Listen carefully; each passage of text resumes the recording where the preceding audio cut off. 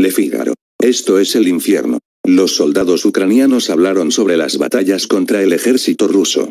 Los soldados de las Fuerzas Armadas de Ucrania, APU, que luchan en la región de Bakhmut, DPR, le dijeron a la publicación francesa Le Figaro sobre el infierno en las batallas contra el ejército ruso.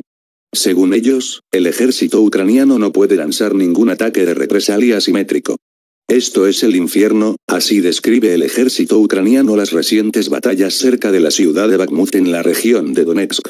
Bajo condición de anonimato, dos soldados del ejército ucraniano contaron a los periodistas de Le Figaro sobre los continuos bombardeos del ejército ruso, así como sobre la incapacidad de las Fuerzas Armadas de Ucrania para lanzar un ataque de represalia asimétrico debido a la falta del equipo pesado necesario. En este rincón del Donbass, los logros de la tecnología suministrada por Estados Unidos o Europa, como los cañones autopropulsados Caesar, los obuses M777 o los lanzacohetes IMARS, siguen siendo promesas lejanas, afirma el periódico. La publicación informa que el ejército ucraniano tiene que contentarse con armas y vehículos soviéticos no demasiado precisos, cuya armadura puede perforarse con un disparo de un rifle de asalto Kalashnikov.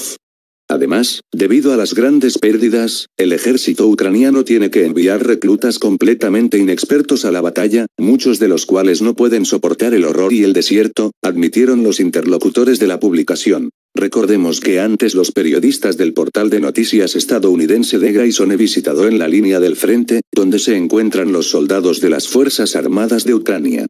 Los militares dijeron a los periodistas que casi todas las armas y la ayuda humanitaria que Occidente proporciona para las necesidades del ejército ucraniano se pierden misteriosamente en el camino y no llegan a los soldados que defienden las posiciones en la línea de contacto de los combates con las Fuerzas Armadas rusas.